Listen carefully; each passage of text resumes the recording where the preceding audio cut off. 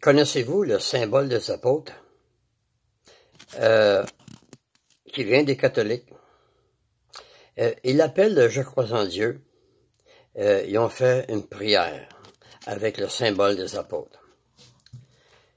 Ça dit dedans, Je crois en Dieu, le Père Tout-Puissant, Créateur du ciel et de la terre, et en Jésus-Christ, son Fils unique, notre Seigneur, qui a été conçu du Saint-Esprit, est né de la Vierge Marie, a souffert sous Ponce Pilate, a été crucifié, est mort et a été enseveli.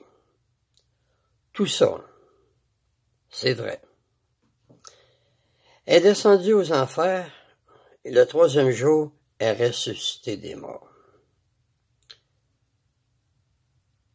Jésus n'a pas pu avoir été en enfer ou aux enfers, parce que l'enfer, selon la Bible, ça n'existe pas. Jésus est mort pendant trois jours. Et Dieu, son Père, au bout de trois jours, il l'a ressuscité.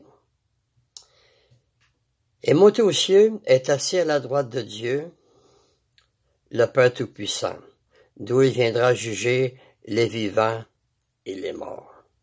Ça, c'est vrai. Je crois au Saint-Esprit, à la Sainte Église catholique et la communion des saints.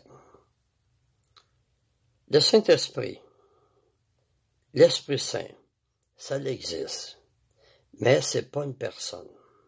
C'est juste la manifestation du Père et du Fils. Jésus ne dit pas dans la Bible qu'il faut croire à une personne qui s'appelle le Saint-Esprit. Jésus a dit dans Jean chapitre 14 et le verset 1, Croyez en Dieu et croyez aussi en moi. Il ne parle pas d'une autre personne. La rémission des péchés, la résurrection de la chair et la vie éternelle. Puis là, ils disent ainsi soit-il l'Église catholique croit qu'il va y avoir une résurrection de la chair et la vie éternelle, et ça, c'est sur la terre, parce que ça dit qu'il va y avoir une résurrection de la chair. C'est le symbole des apôtres que l'Église catholique enseigne.